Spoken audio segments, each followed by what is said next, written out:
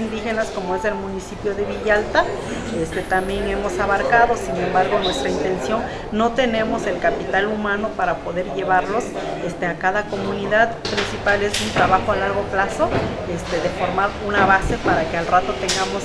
este, quizás lleguemos a tener campeones, pero nuestro objetivo principal no es eso, no es el de formar campeones únicamente, es el de